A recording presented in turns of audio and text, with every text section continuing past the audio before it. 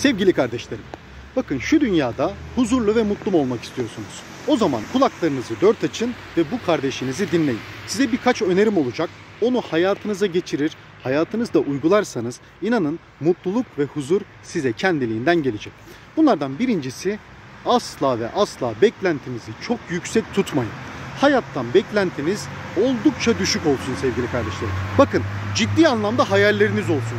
Ulaşılamayacak derecede hayalleriniz olsun. Hedefleriniz muhakkak olsun. Fakat beklentileriniz düşük olsun. Çünkü beklenti yüksek olunca ve karşılanmayınca inanın inanın o zaman sıkıntılar baş gösteriyor. İnsan psikolojik olarak çöküyor sevgili kardeşlerim.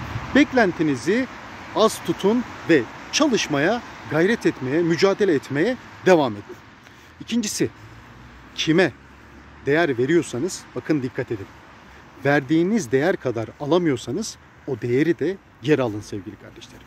Kime ne değeri hak ediyorsa o kadar değer verin. Hak ettiği değeri verin. Hak ettiğinden fazla değer verirseniz gene üzülürsünüz sevgili kardeşlerim. O nedenle kim neyi hak ediyorsa onu ona verin. Bu da ikinci maddemiz. Üçüncü maddemiz kimseyle savaşmayın. Kimseyle savaşmayın. Kendinizle yarışın. Daima kendinizle yarışın sevgili kardeşlerim. Kimseyi geçme hırsına kapılmayın. Kimseyi geçme hırsına kapılmayın. Kendinizi geçin. Kendinizin bir önceki halinden bir sonraki hali nasıl farklı olur bu düşüncede olun.